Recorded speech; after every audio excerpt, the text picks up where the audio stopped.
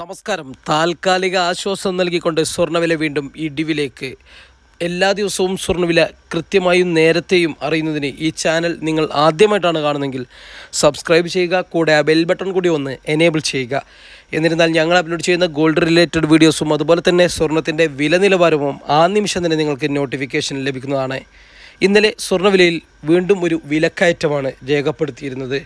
ഇന്നലെ ഗ്രാമിന് നാലായിരത്തി എന്ന വിലയും പവന് മുപ്പത്തി എട്ടായിരത്തി മുന്നൂറ്റി ഇരുപത് എന്ന വിലയിലുമാണ് വ്യാപാരം നടന്നിരുന്നത്. ഈ മാസത്തെ ഏറ്റവും ഉയർന്ന വിലയാണ് ഇത്.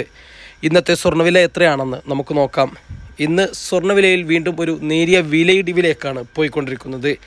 ഇന്ന് ഇരുപത്തിയാറ് അഞ്ച് രണ്ടായിരത്തി ഇരുപത്തിരണ്ട് ഗ്രാമിന് നാലായിരത്തി എഴുന്നൂറ്റി അറുപത്തി അഞ്ച് എന്ന വിലയും പവന് മുപ്പത്തി എട്ടായിരത്തി ഒരുന്നൂറ്റി ഇരുപത് എന്ന വിലയിലുമാണ് വ്യാപാരം ആരംഭിച്ചിരിക്കുന്നത് ഗ്രാമിന് ഇരുപത്തിയഞ്ച് രൂപയും പവന് ഇരുന്നൂറ് രൂപയുമാണ് വിലയിടിവ് രേഖപ്പെടുത്തിയിരിക്കുന്നത്.